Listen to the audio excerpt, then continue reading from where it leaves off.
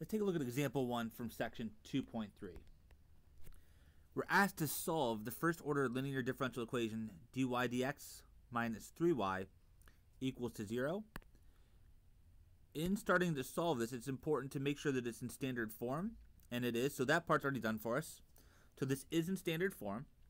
We can identify this function p of x.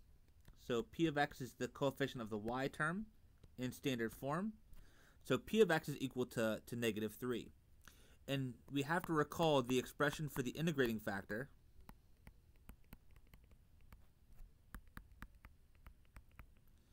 The integrating factor we said was e to the integral of p of x dx.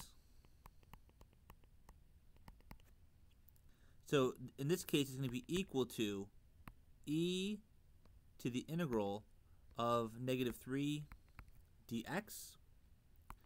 Well, that's simply going to be equal to e, and then the antiderivative of negative 3 is negative 3x. So for this particular first order linear ODE, this is going to be our integrating factor. The very next step is we're going to multiply the entire differential equation, both sides, by this integrating factor. So that's going to look like this. So multiply every single term by that integrating factor.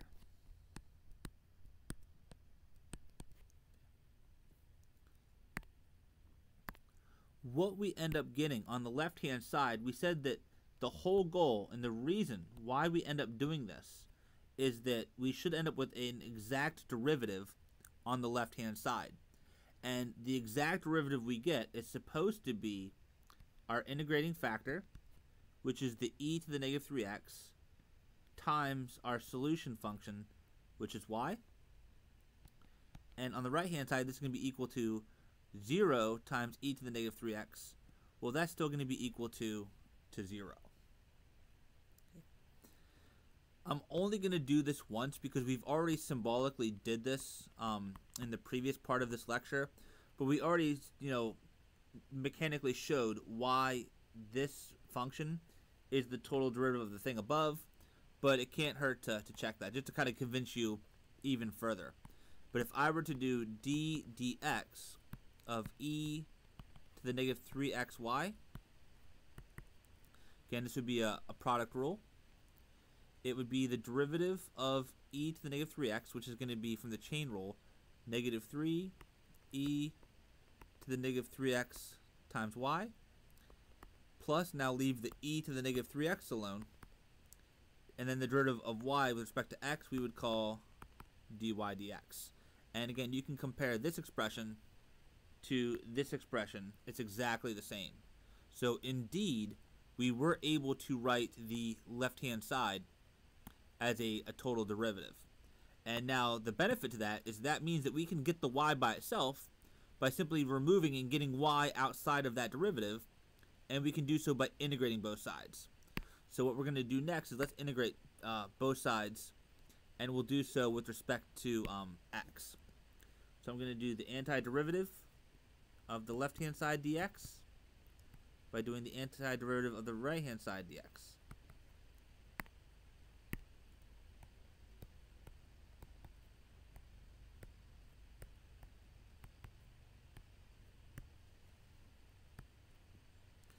On the left-hand side, the antiderivative and the derivative cancel.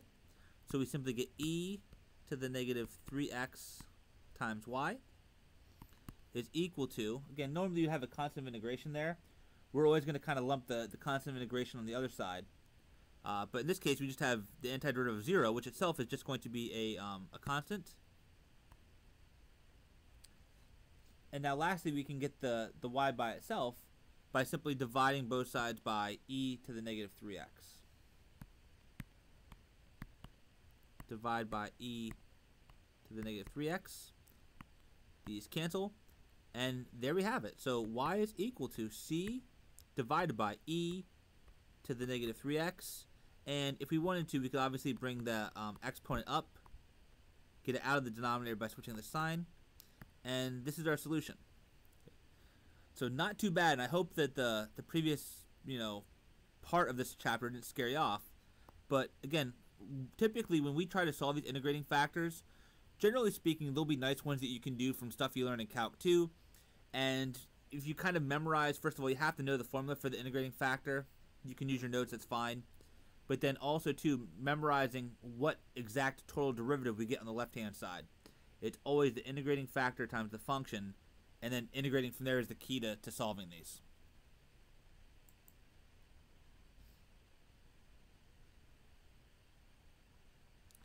Let's do another one.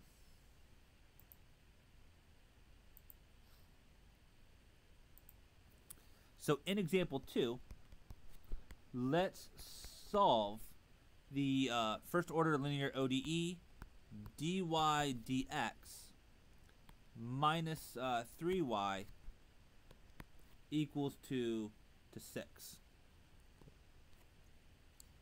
So this one isn't really a, whole lot different than kind of the, the last one that we did. Okay. Um, in particular, the left-hand side is exactly the same. So if you look at, in this case, the, the p of xy,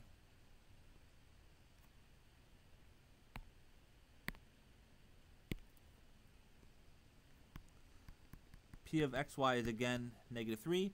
So we get the same integrating factor, e to the integral of p of x dx is equal to e to the integral of negative 3 dx, which is simply equal to e to the negative 3x.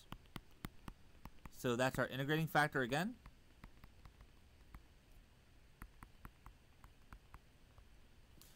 We would then go ahead and multiply both sides um, by this integrating factor. So I'm going to multiply by e to the negative 3x, essentially to every single term. Both the, the right-hand side and the left-hand side. That turns the left-hand side into a total derivative. It's going to be e to the negative 3x, which is our integrating factor, times the function y and this is equal to 6e to the negative 3x. The next step then would be to integrate both sides dx.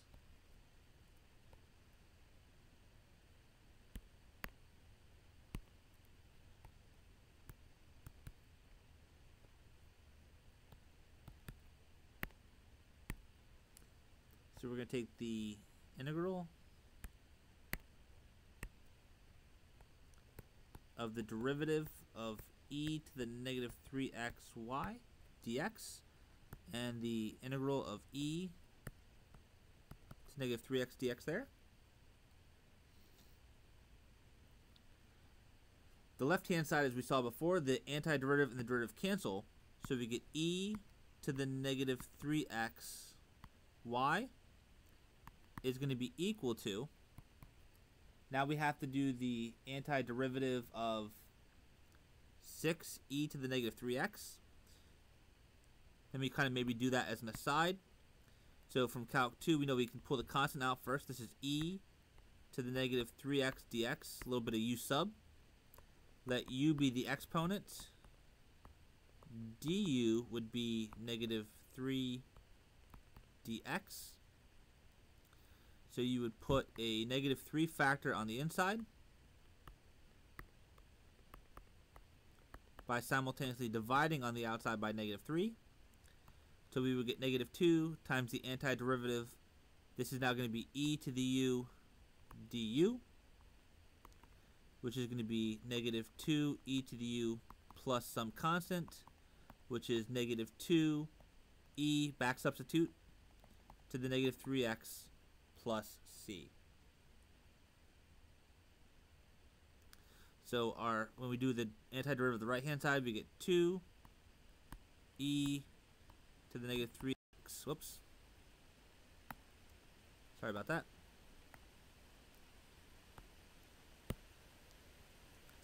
Two e to the negative 3x plus c. And now we can go ahead and solve for our function y to get our solution.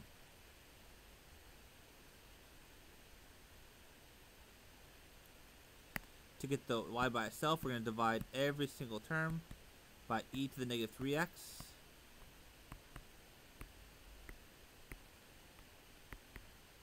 And here's what we get. The e to the negative 3x's cancel. We get y equals, here the negative, the e to the negative 3x's cancel. So we have negative 2. And then we have plus some constant. And again, I'm going to bring that, that uh, term to the numerator. I'm going to reciprocate it to make it a positive e to the 3x. And we haven't really been focusing on it too much, but we probably should start to mention a little bit more often. But this function has a domain of definition for all real numbers. So it's defined for, for all real numbers. So there we have it. Again, integrating factor is pretty nice, not too um, too difficult, I hope. Let's actually go ahead and check, because it's been a while since we've checked one of these, kind of going back to the to the first chapter.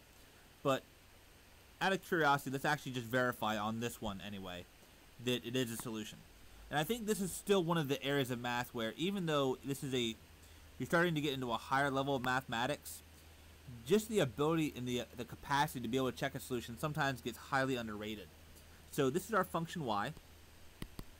It's negative 2 plus um, c e to the 3x. If I take the derivative there, dy dx, this would be equal to derivative of a constant is 0. The 3 would come down from the chain rule. And so dy dx is equal to 3c e to the 3x. Let's plug that into our original differential equation and see if indeed if this checks out. So everywhere I see a, a dy dx, I'm putting 3c e to the 3x. This is minus 3 times y, which is negative 2 plus c e to the 3x. Does this indeed equal to 6? Well, we have 3c e to the 3x, distributing the negative 3 through, plus 6, plus, um, excuse me, minus, because that's a negative sign, minus 3c e to the 3x. And sure enough, these two cancel, and we're left with 6 equals 6. So we're good to go. We have definitely found the solution to that first order linear ODE.